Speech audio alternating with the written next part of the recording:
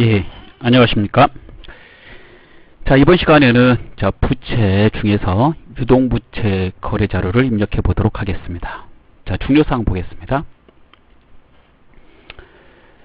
외상 매입금과 지급어음은 상품 매입 시에 사용하고요. 그 외의 거래는 비지급금으로 처리합니다. 즉, 상품을 사오면 외상했다 그러면 외상 매입금, 어음을 발행했다면 지급어음을 하시고 상품이 아닌 걸 사오면 외상을 하든 어음을 발행하든 다 미지급금으로 처리합니다.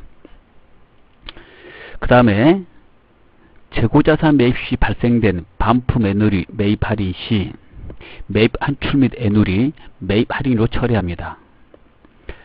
어, 이 부분은 재고자산 편에서 말씀을 드렸습니다. 재고자산은 사올 때 외상으로 사오면 외상 매입금으로 처리를 하고요. 그 외상 매입금으로 처리한 재고자산에 문제가 생겨서 반품, 애누리, 할인을 할 경우 외상 매입금에서 차감하고 상대 계정의 매입 한출 및 애누리 매입 할인으로 처리합니다. 그 다음에 1년 이내 상환하기를 하고 빌리면 단기 차입금으로 처리합니다. 그 다음에 급여, 이자, 강사료 등을 지급하면서 온천 징수할 경우 예수금으로 처리합니다. 그 다음에 계약금을 받으면 선수금으로 처리합니다. 자, 계약금은 언제 받게 되냐면 우리가 물건을 판매하기로 하고 판매하기로 하고 착수금, 계약금, 조로 그런 명칭으로 받을 때죠. 그래서 판매하고 관계됩니다. 예. 파는 것과 관계되고요. 선급금은 구입하는 것과 관계되죠. 그 다음에 대금을 받았는데 원인을 알 수 없을 때는 가수금으로 처리합니다. 중요 계정을 또 한번 보겠습니다. 외상매입금, 지급어음, 미지급금, 예수금, 가수금, 선수금, 단기차입금, 미지급비용, 선수수익 유동부채에 속하는 계정 과목이 되겠습니다. 자, 거래자료 입력해 보겠습니다. 자, 1번 문제부터 보겠습니다. 7월 1일 일신산업에서 상품 125만원어치를 매입하였다. 자, 상품을 사면 상품입니다. 대금 중 25만원은 현금으로 지급하고 잔액은 외상으로 하였다. 현금은 현금이죠. 자, 외상의 이름 상품 사오면 외상 매입금으로 처리하고요. 상품이 아닌 걸 사오면 미지급금으로 처리하라고 그랬죠. 자, 그래서 외상 매입금으로 처리를 하는 겁니다. 자, 정답을 입력해 보겠습니다.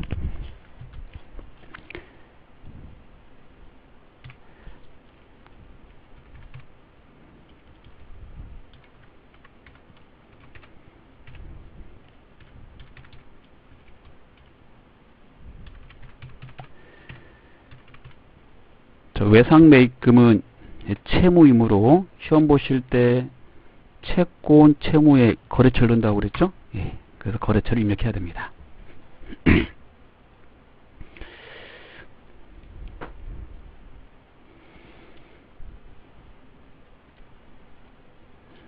음, 거래처 입력과 관련해서 채권 채무를 잘 모르겠다. 어, 그럴 수도 있을 것 같아요. 그래서 그런 분들을 위해서 좀 써드리겠습니다. 시험 범위와 관계되는 부분을 예. 네, 첫 번째 외상 매출금 채권 쪽부터 먼저 쓸게요. 받으럼 그 다음에 미수금 단기대여금 그 다음에 성급금 자, 그 다음에 장기대여금 그 다음에 임차보증금 그 다음에 부도음과 수표 자, 이 계정은 시험 문제 나올 경우 무조건 거래처를 입력하는 겁니다. 나머지 계정에 대해서는 지시에 거래처를 입력하라고 그럴 때만 입력하시면 돼요. 그 다음에 채무도 똑같은 방식으로 써드리면요. 외상 매입금 그 다음에 지급어음, 미지급금, 단기차입금.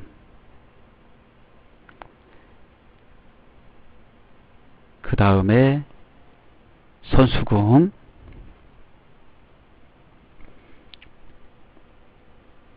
장기차입금. 지금 쓴 계정은 무조건 거래처를 입력하는 겁니다. 무조건 거래처를 입력하는 거예요. 출제자가 거래처를 입력하지 마시오. 그러지 않는 이상은 무조건 입력하는 거고요. 자, 이게 시험에서 요구하고 있는 채권 채무 계정이 되겠습니다. 나머지 계정 과목에 대해서는 시험 문제 지시에서 거래처를 입력하라고 할 때만 하는 거예요. 네, 이거 정리를 잘 해두십시오. 네, 어느 계정 과목에 거래처를 넣어야 되는지 잘 모르겠다 그러면 다음에 계정 과목에 거래처를 넣는 겁니다. 자, 채권 채무를 정확하게 잘 모르면 일단 거래처를 무조건 입력하고 보시면 돼요. 이거 무슨 말이냐면 시험 보실 때 거래처는 채권 채무만 찾아서 채점합니다. 따라서 채권 채무가 아닌 그러한 계정에 거래처를 넣으면 감점을 하거나 틀리게 하지 않아요. 그래서 잘 모르겠다 그러면 일단 입력을 해놓고 보시는 거죠. 입력해서 손해보는 건 없습니다. 예. 시간이 좀 더 걸릴 뿐이죠. 자, 중요합니다. 예. 암기 해주세요. 암기. 예. 몇개 안 돼요. 잘 보니까 몇 개 안 되죠. 예. 자, 그 다음 2번 문제 보겠습니다. 상도의 외상 매입금 600만 원을 외상 매입금의 이름이 외상 매입, 이죠 당점 거래 은행인 제3은행의 보통 예금 계좌에서 온라인으로 송금하고 보통 예금의 이름은 보통 예금이죠. 예. 송금 수수료 수수료는 수수료 비용이죠. 예. 보통 예금 계좌에서 지급되었다. 자 그러면 외상 매입금하고 수수료가 보통예금 계좌에서 지급됐다는 말이네요. 차변의 외상 매입금 대변의 아, 차변의 예, 수, 수수료 비용 외상 매입금은 600만원 수수료는 2천원 그래서 보통예금 대변에 600만 2천원 이렇게 되겠죠 예. 이렇게 됩니다. 자, 외상 매입금의 거래처 상도를 입력하는 거고요. 부채 감소, 비용의 발생, 그 다음에 자산의 감소 이렇게 됩니다. 자, 비용이 부채하고 같이 나왔으니까 이런 거래를 무슨 거래라고 그래요? 혼합 거래고. 자, 이 거래는 3번 차변, 4번 대변으로 입력하는 거죠. 예. 자, 입력을 해 보겠습니다.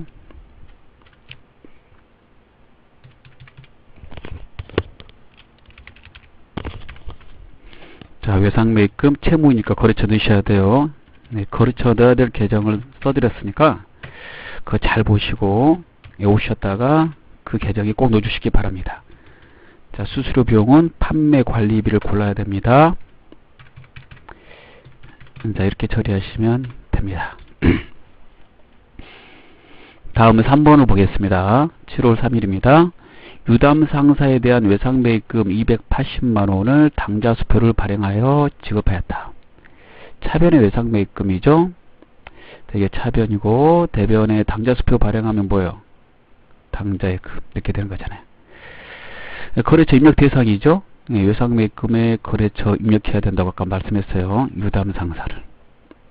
차변 대변으로 드는 거죠. 부채 자산만 나왔으므로 교환거래고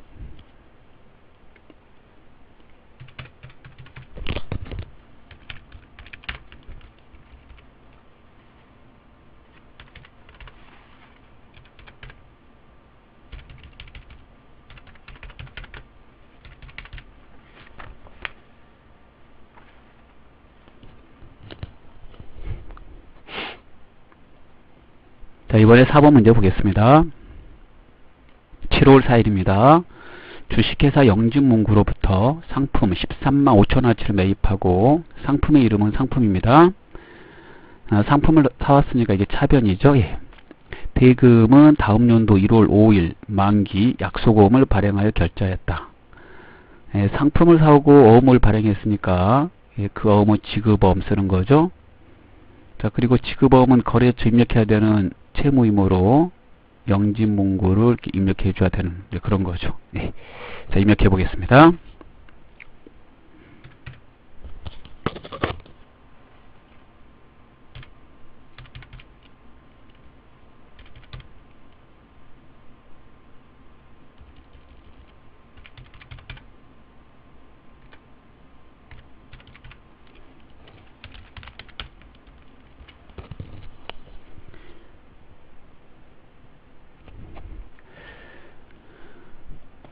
자, 다음 문제를 보겠습니다. 5번입니다.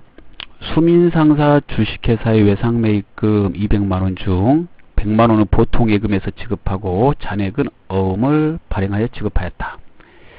자, 여기서 어음만 알아내면 돼요. 외상매입금은 외상매입금이고 보통예금은 보통예금입니다. 외상매입금이 상품을 외상으로 사왔을 때 쓰는 계정이므로 거기에 따라서 어음을 발행하면 그 어음은 상품 상급과 관계되니까 지급어음을 써야 되겠죠.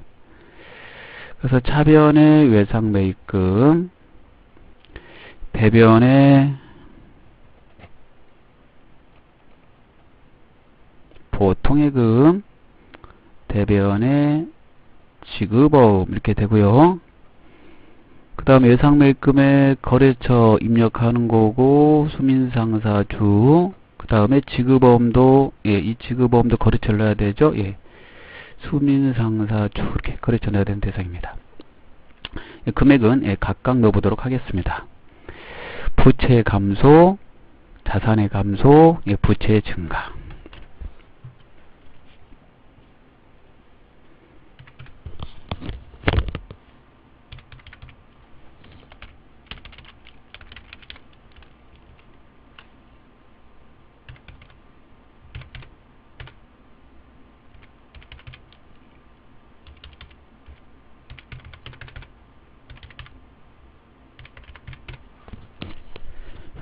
자 이렇게 입력을 하시면 되겠습니다. 다음 거래를 입력해 보도록 하겠습니다. 외상 매입금하고 지급음 거래처 넣는 거고요. 예, 거래처 넣으실 때 예, 번호까지 넣어야 된다고 예, 여러 번 말씀드렸습니다. 다음 6번을 보도록 하겠습니다. 7월 6일입니다. 7월 6일 현재 대왕마트에 대한 지급어음 총액 1616만원이 당자 예금 계좌에서 결제되었다. 아, 이렇게 하면 되죠? 차변, 대변. 네. 지급어음이 거래처 넣으면 되잖아요? 부채 감소, 자산의 감소. 예.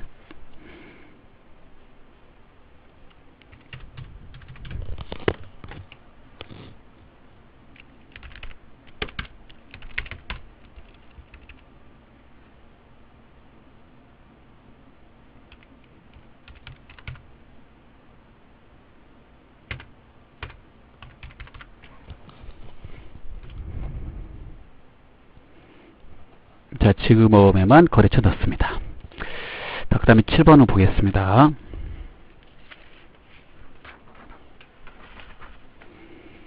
신한은행에서 다음 연도 4월 18일 상환하기로 하고 1200만원을 차입하여 당점 보통예금 계좌에 입금하였다. 돈을 빌린 거죠. 예. 차변의 보통예금 자, 그 다음에 상환일이 1년 이내죠.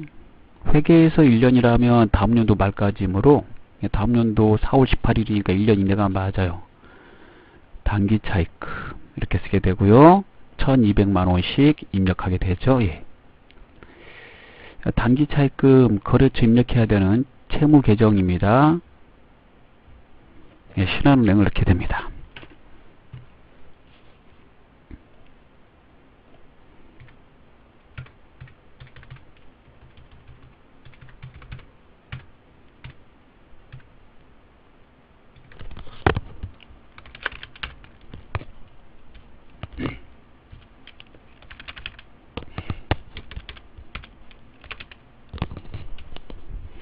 어, 신한은행이 여러 개 뜨는데요. 어, 시험 보실 때 이제 신한은행은 하나만 뜰 겁니다. 자, 여러 개 뜨면 어느 게 적합한지 보겠습니다. 어, 앞에 거 쓰시는 게 좋습니다. 뒤에 98000 이렇게 나와 있는 이 신한은행은요, 이 뒤에 나와 있는 신한은행은, 어, 여러분은 하나만 나올 거예요, 예. 제가 앞에 설명을 하다가 신한은행이 두 개 나온 거죠, 예. 그래서 앞에 거, 예. 뒤에 거는 이제 신한은행의 당자예금, 보통예금, 이런 계좌를 개설했을 때, 네, 그럴 때 쓰는 거거든요, 예. 하나만 나오니까 상관없겠네요, 예. 지워버려야 되겠네요, 예. 음. 음.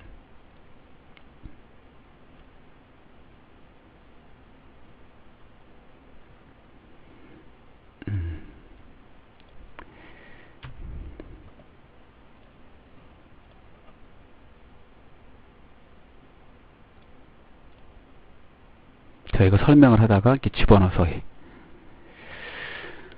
자, 그 다음 보겠습니다. 자, 8번입니다. 삼다은행의 단기차입금 상환액 1200만원과 이자 20만원을 현금으로 지급하였다. 이렇게 되어 있네요. 음, 단기차입금의 이름은 단기차입금이고요. 네, 차입이니까 차입에 따른 이자는 이자 비용이죠. 네, 차입금을 차입금을 갚았다는 말이므로 차입금을 갚으면 부채 감소니까 단기 차입금 차변 그 다음 이자는 비오니까 또 차변이죠. 예, 대변에 뭐예요? 현금 이렇게 됩니다. 그리고 단기 차입금에 이제 거래처 삼다은행을 넣으면 되겠고요. 자, 이 거래는 혼합 거래고요. 자, 이 거래 입력할 때 3번 차변, 4번 대변으로 입력을 한다고 그랬습니다. 시험 보실 때 그래야지 하나의 전표로 끊기기 때문에 이렇게 출금 출금 두 번 넣지 말라고 그랬어요. 예. 자 그래서 출금은 차변의 계정 과목 하나 대변의 현금일 때만 하는 거고 그러지 않으면 차변 대변으로 든다고 그랬습니다. 자 입력해 보겠습니다.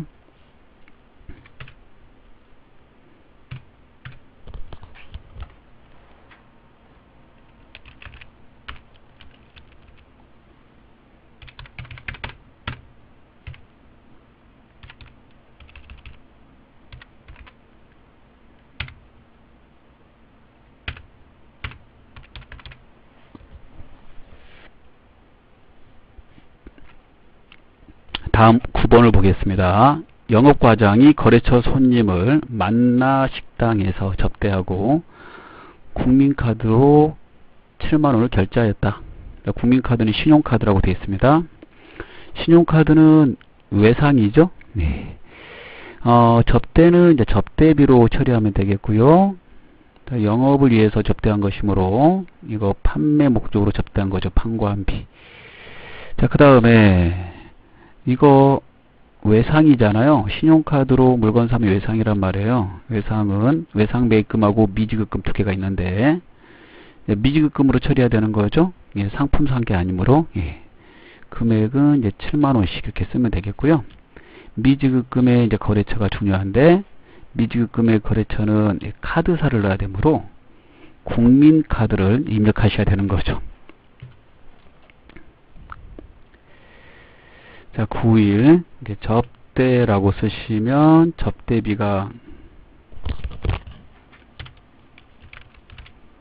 여러 개 뜨는데 판매 관리비 고르고 7만원 넣고 미지급금의 거래처는 카드이므로 카드사한테 갚아야 되는 거잖아요. 카드사를 입력한다. 그랬습니다. 자, 이번에 10번을 보도록 하겠습니다. 영업부 사원들의 사기 진작을 위하여 인근 좋은 식당에서 회식을 하고 회식 이름 뭐예요? 복리후생비죠? 예, 복리후생비. 판관비 골라야 되고 외상했죠? 외상은 외상매입금과 미지급금 두 개가 있는데 외상매입금은 상품을 사왔을 때 쓰는 거고 상품을 사왔을 때 쓰라고 되어 있고요. 이걸 일반적인 상거래라고 한다고 그랬어요. 예, 그러지 않으면 나머지 외상은 미지급금 쓰라고 그랬으므로 이제 미지급금 처리가 됩니다. 27만원씩 되고 어, 미지급금은 채무임으로 식당을 넣어줘야 됩니다. 좋은 식당. 자, 자, 복리후생비, 판매관리비 고르세요. 판매관리비. 811번입니다.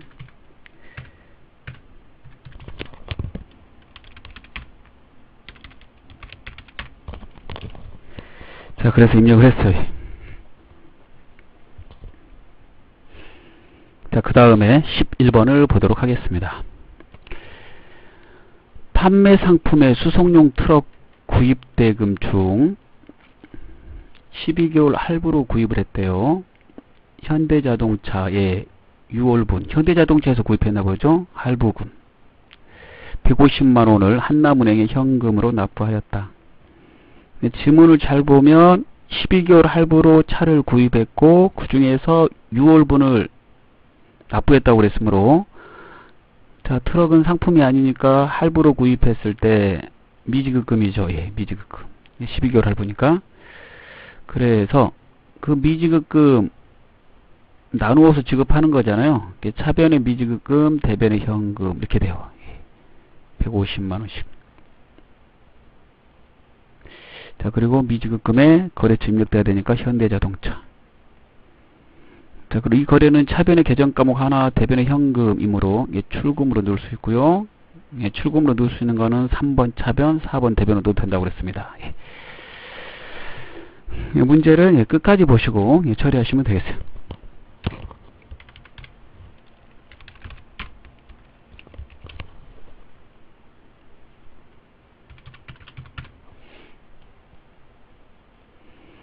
자, 12번을 보도록 하겠습니다.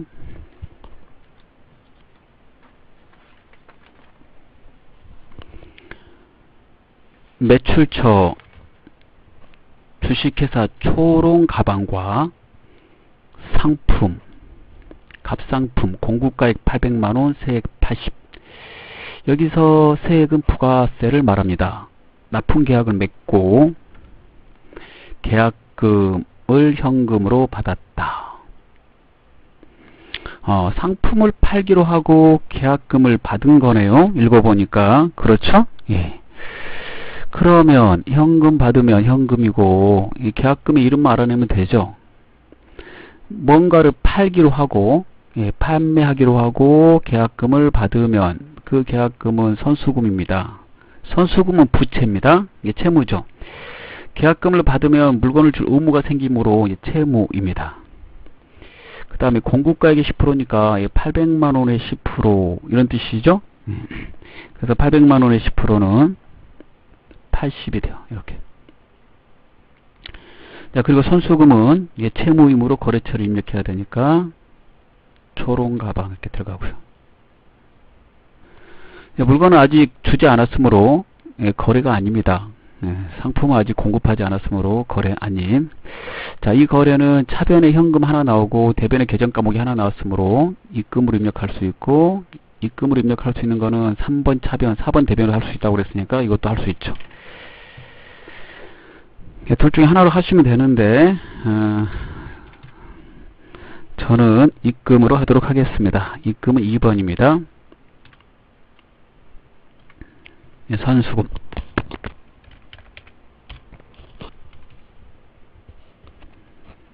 현금은 자동으로 입력됩니다. 입금을 선택하시면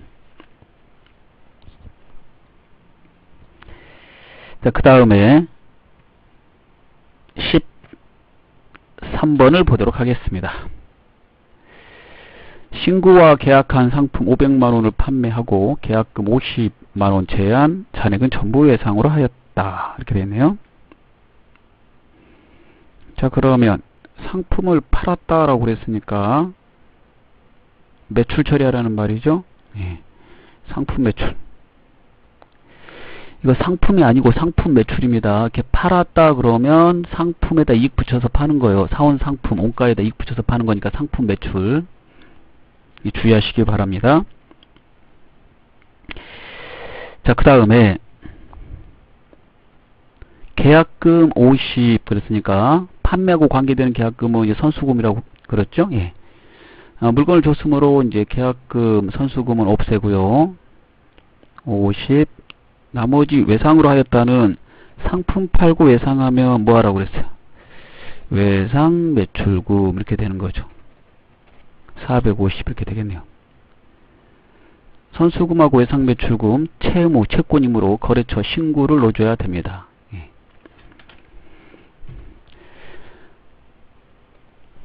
자, 13일입니다. 차변의 선수금. 신고 넣고요. 예. 차변의 외상 매출금 거래처 복사하는 거예요. 거래처 복사할 때 번호까지 복사하는 방법 플러스 엔터. 자, 거래처 우리가 공부할 때는 무조건 그 코드, 즉 번호까지 넣어야 됩니다. 그 다음에 대변의 상품 매출이죠. 상품 매출은 수익입니다. 그래서 대변에 쓴 거예요. 수익의 발생. 자산의 감소가 아니라 수익의 발생. 그래서 대변에 썼습니다. 자, 이거 손익거래죠? 예. 수익이 혼자 나오고 있으므로. 자, 이번에 14번을 보도록 하겠습니다. 당월분 영업사원의 급여를 다음과 같이 보통예금 계좌에서 종업원 급여 계좌로 이체하였다. 영업사원의 급여 이름은 급여잖아요. 그대로 급여, 비용의 발생. 뗀 거, 원천 징수한 거, 소득을 지급하면서 원천 징수하면 예수금수라고 그랬죠? 그 다음에 보통예금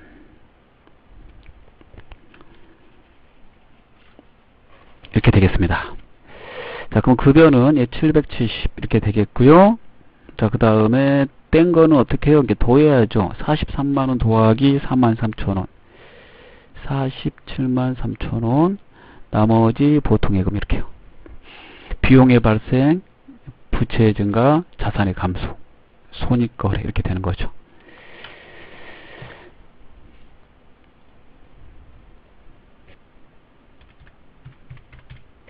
자, 급여, 예수금, 자, 그 다음에 보통예금 이렇게 되겠습니다. 자, 그 다음 15번을 보겠습니다.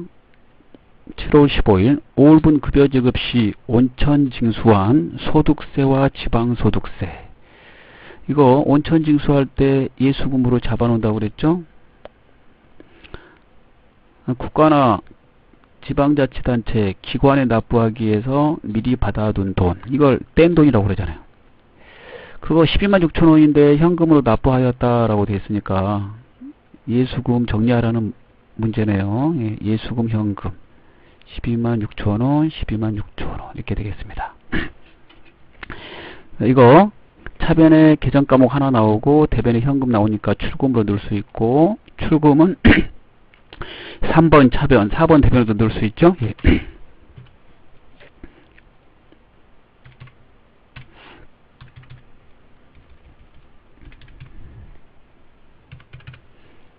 예, 자동으로 현금이 예, 들어갑니다. 이렇게요. 예. 음, 자 이제 16번입니다. 7월 16일 출장 중인 영업사원 윤광현으로부터 내용을 알 수 없는 150만원이 당사 당자금 계좌로 입금되었다. 알 수 없는 돈을 받으면 뭐라고 그랬어요? 예, 가수금 이렇게 되겠죠. 네, 그래서 차변의 당자예금, 대변의 가수금 150만원씩 넣으면 됩니다.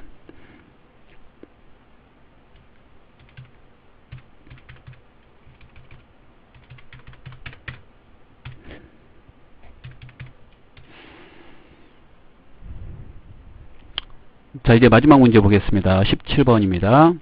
가수금 50만원의 내역이 일신산업에 대한 상품 매출 계약금 상품 매출의 계약금이니까 이게 파는 것과 관계되는 거잖아요.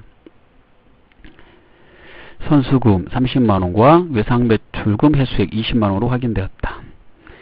가수금은 내역이 밝혀지면 그 계정으로 대체하라고 되어 있죠. 그래서 가수금을 없애고요.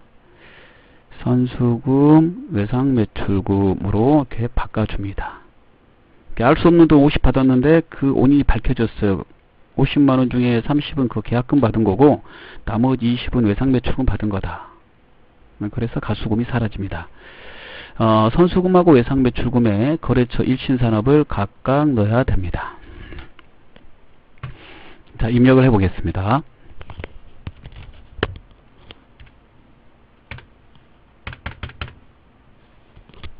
자, 가수금이 위에 입력되어 있으니까 그대로 엔터 쳐서 복사하시면 되겠네요. 예. 자, 선수금의 거래처 넣고 그 다음에 외상 매출금에도 거래처를 넣는데 네, 거래처가 같죠? 예. 그러므로 거래처 복사해요. 플러스 엔터. 네, 금액 수정할 게 없으므로 그대로 내버려 둡니다. 자, 이번 시간 여기까지 하도록 하겠습니다. 예, 감사합니다.